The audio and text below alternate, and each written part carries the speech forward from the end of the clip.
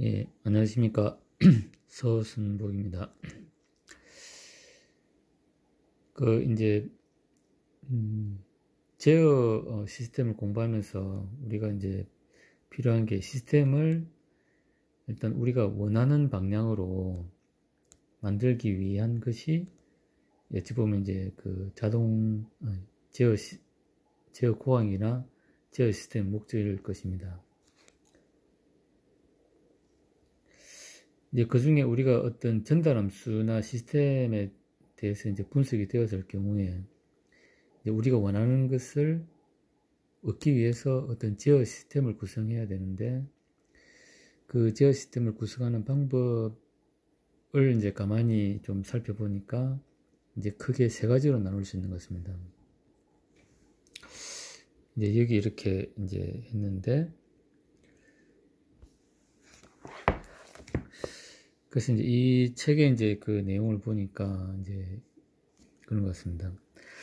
일단은 이제 그 권계적법이 있고, 그 다음에 주파성답이 있고, 그 다음에 세 번째 방법으로 이제 상태 공간법이 있습니다. 그래서 이제 권계적법과 주파수 응답법은 이제 좀 약간 고전적, 그러니까 고전적인 방법이고, 그 다음에 이제 상태 공간법, 설계법은 이게 이제 컴퓨터 기법을 이용해서 이제 우리가 뭔가를 해석하기 위해서 하기 적합하기 때문에 이제 오늘날에 많이 연구되고 있다고 합니다. 그래서 상태공학법은 이제 좀 현대적인 기법이고 근계적 법과 주파성답법은 좀 고전적인 방식이다. 일단 이렇게 좀 우리가 그 좀 정리를 할 수 있는 것 같습니다. 그래서 이제 우리가 어떤 제어 뭐 기계 제어든 뭐 로봇 로봇 제어든 전력 전자 제어든 뭐 인공위성 제어든 뭐 항공기 제어든 간에 우리가 이제 기본적으로 이제 그 할 수 있는 어떤 이제 그걸 제어, 제어하기 위해서 제어기를 설계를 한다고 가정할 경우에 우리가 쓸 수 있는 방법은 크게는 이제 관계적법, 주파성답, 주파성답, 그 다음에 이제 상태 공간법 이렇게 이제 그 예, 이렇게 세 가지로 이제 좀 정리를 할 수가 있는 것 같습니다. 그래서 이제 이런 걸 하기 위해서 우리가 이제 저기 어뭐 라플라스 변환에서부터 그 다음에 이제 1차 시스템, 2차 시스템의 어떤 특성을 우리가 이해를 하고 그 다음에 이제 가도 응답 특성과 그 다음에 증상 상태에서의 오차 이런 걸 이제 그 공부를 예, 하는 것 같습니다. 그래서 일단 세부적으로 이제 보기 전에 우리가 이제 제, 전체적으로 이제 그 이제 자동 제어 이제 제어 공학의 어떤 이제 저기 굵직한 흐름을 볼 때 이렇게 정리할 수 있는 것 같습니다. 우리가 어떤 이제 그 어떤 시스템을 제어할 때 제어할 때 이제 우리가 원하는 이제 적절한 응답이 있습니다. 근데 가도 상태에서의 어떤 이제 응, 응답이 있고 그 다음에 증상 상태에서 이제 오차를 이제 어느 얼마만큼 이제 허용할 것인가 는 거죠. 그러면 이제 우리가 이제 어떤 시스템이 기동을 할 때 이제 완전 그 이제 overshoot 없이 이제 갈 건지 그 overshoot 없이 이렇게 이제 갈 건지 아니면 overshoot가 있, 있더라도 좀 빠르게 갈 건지 요거는 우리가 이제 좀 취사선택을 해야 될 겁니다. 이제 과도, 과도 상태에서는 이제 overshoot가 없이 가야 되는지 아니면 overshoot가 약간 있더라도 빠르게 가는 게 좋은지 하는 거고 그 다음에 이제 정상 상태에서 이제 오차를 얼마나 줄일 건지 예를 들어 가지고 뭐 이제 5%할 건지 1%할 건지 이제 그런 부분이죠. 근데 이제 과거에 이제 이런 우리가 원하는 이런 것을 이제 그 달성하기 위해서 이제 썼던 방법이 이제 관계적법이죠. 관계적법이 있었고 그 다음에 이제 그 보데 플러스로 대표되는 이제 주파성답 시스템. 그 요, 요거는 이제 그 어, 개인 특성인데 여기 보면 우리가 저기 항상 그 보데 플러스에 보면 개인 개인하고 그 다음에 이제 위상 요 두 개가 이제 쌍으로 나오죠 이제. 그렇게 있고 그 다음에 이제 하나가 추가된 게 이제 상태 방정식. 그러니까 우리가 이제 기본식은 이제 이렇게 나타낸다고 합니다. 이게 이제 뭐 입출력에 대한 그 A, B, C는 이제 요, 요거는 다 벡, 벡터입니다. 벡터. 벡터고 그 실제로 이제 행렬 로 이제 주어지는 거죠.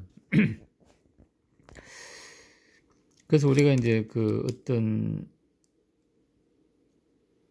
내가 이제 가진 시스템을 내가 원하는 방식으로 이제 제어를 하기 위해서 제어기를 설계를 해야 되는데 이제 그 제어기를 설계하기 위해서 이제 우리가 이제 쓸 수 있는 기법이 이제 고전적으로 보면은 이제 그 S 플랜 북소수 평면에서 어떤 건의 위치를 가지고 이제 이제 그 응답을 예측할 수 있는 그런 기법이 있고 그 다음에 이제 그 보데플라 주파수 응답 특성을 이용해 가지고 이제 우리가 원하는 어떤 응답 특성을 구할 수 있고 그 다음에 이제 현대적인 방법으로 이제 상태 방정식을 이용한 이제 방법이 있다. 예.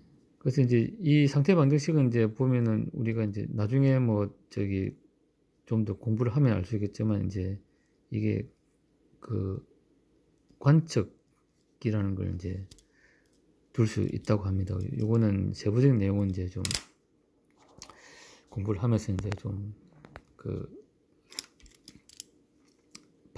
하고 일단은 이제 우리가 원하는 것은 이겁니다. 과도 상태에서 이제 빠르게 오버슈트에 있더라도 빠르게 갈 것인가? 그 다음에 이제 느리게 가더라도 오버슈트는 절대 있으면 안 된다. 는 거 하나. 그 다음에 이제 정상 상태에 있어가지고 오차의 범위를 얼마나 이제 줄 것인가. 5%할 것인가, 2%할 것인가. 그게 이제 우리가 이제 그 어떤 시스템을, 에, 우리가 만든 어떤 시스템이 원하는 방법이죠. 그러면 이제 그 목표가 정해졌다고 하면 그, 그걸 달성하기 위해서 이제 지역기를 어떻게 설계할 것인가 는 거죠. 과거에는 이제 관계적법과 이제 주파성답법이 있었는데 이제 최근에는 상태 방정식을 이용해서 이제 컴퓨터 시뮬레이션 이게 이제 컴퓨터를 이제 하기가 이제 용이하다는 좀 장점이 있는 것 같습니다. 네, 그래서 이제 그 이런 이제 좀 굵직한 내용을 우리가 이제 이해를 하고 어떤 이제 그 이제 자동 제어 시스템이나 제어 공학을 이제 접근하면은 라플라스 변화를 왜 해야 되고 그다음 우리가 이제 S 파라미터에서 이제 근의 어떤 그 궤적을 어떻게 이제 왜 이해를 해야 되고 하는 걸 우리가 알 수 있다는 거죠. 그래서 이제 그 그런 관점에서 그러니까 이런 내용을 우리가 이제 그 알고 그 다음에 이제 제어 공학이나 자동 제어 시스템을 이제 공부를 하는, 하면 훨씬 효율적으로 우리가 공부를 하고 우리가 원하는 것을 좀 달성할 수 있지 않을까 그렇게 생각합니다. 이상 감사합니다.